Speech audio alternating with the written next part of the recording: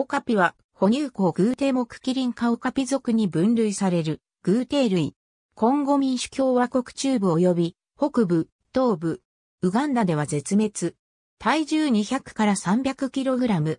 尻と獅子に白っぽい横縞が入る。東道長1.9から2.5メートル、肩高1。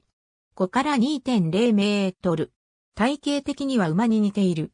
胴体は黒か紫色からやや明るい茶色。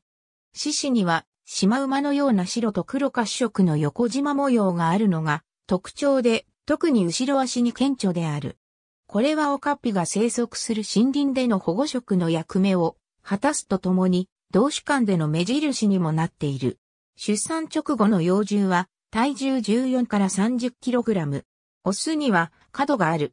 体型や毛皮の模様などからシマ馬の仲間だと思われがちだが、いくつかの特徴からキリンの仲間であることがはっきりとわかる。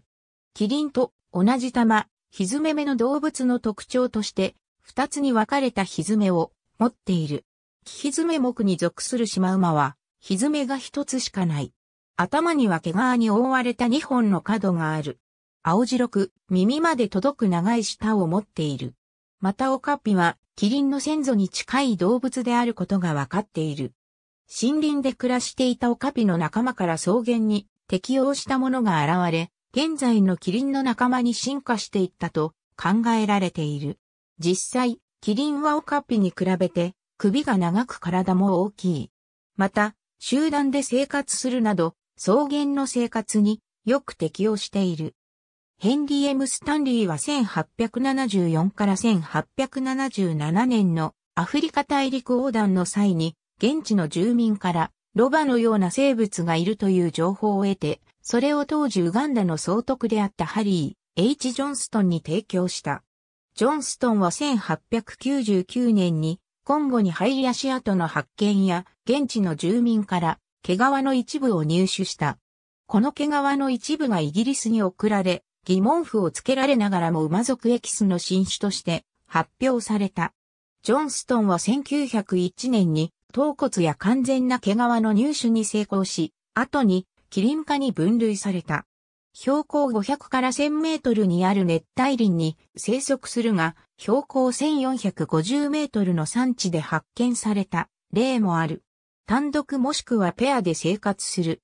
オスの行動圏は10.5平方キロメートルに達することもあり、1日あたり4キロメートルを移動すると考えられている。主に木の葉を食べる。天敵として氷が挙げられる。妊娠期間は414から493日。1回に1頭の幼獣を産むが、2頭の幼獣を産んだ例もある。飼育下では通常30分ほどで立ち始めるようになる。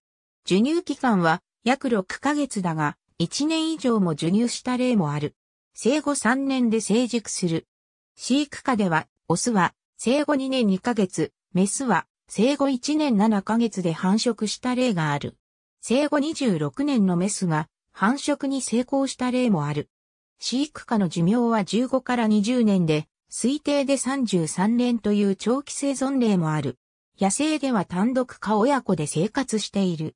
長い舌を伸ばして、木の葉や草をちぎって食べる。